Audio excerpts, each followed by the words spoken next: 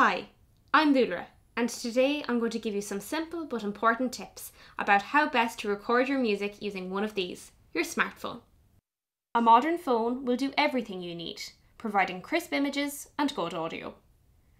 But you might want to add some extras, like a small tripod to keep the shot steady, and then you could improve things even further by using an external microphone and a light. Let's leave the technology to one side because there are several things you'll need to get right before you start to film. It's about music, right?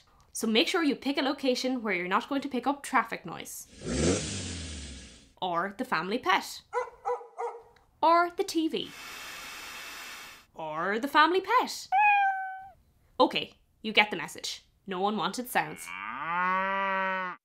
Pick a nice quiet room preferably one with plenty of natural light. And that's what we're on to next.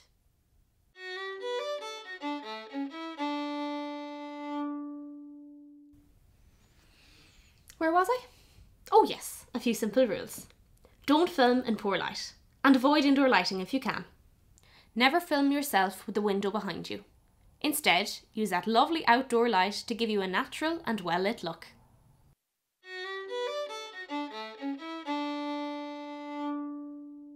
Having picked your room and maximising the best light available, it's time to add the finishing touches to dress your set. Pick some items to add a little texture to your shot. Maybe add something that will provide a musical flourish.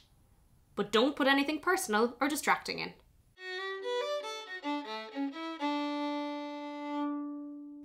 Okay, you've practiced your tunes, now it's time for the recording.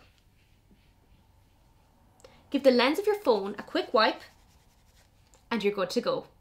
Then set it up at eye level, remembering to always film with the phone in landscape and not in portrait mode. If you have a stand like the one on this inexpensive GorillaPod, then use that. But if not, just bridge the phone between some books, support it front and back, making sure you don't block the lens. Once the phone is set up, position yourself and your instrument in the centre of the screen. Don't frame yourself right at the edge or too far down in the frame. Just comfortably within the screen and you're good to go. And before you hit that record button, just a couple of final things to check. Some phones allow you to set the focus, so make sure that's on you. Don't use the digital zoom. The picture quality is generally poorer when you zoom in. So if you need to frame the shot correctly, move closer to the camera or the camera closer to you.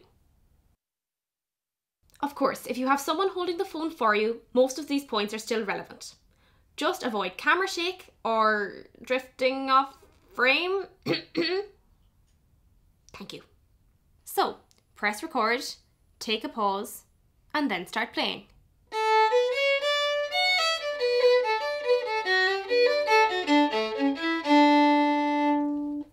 And pause again at the end.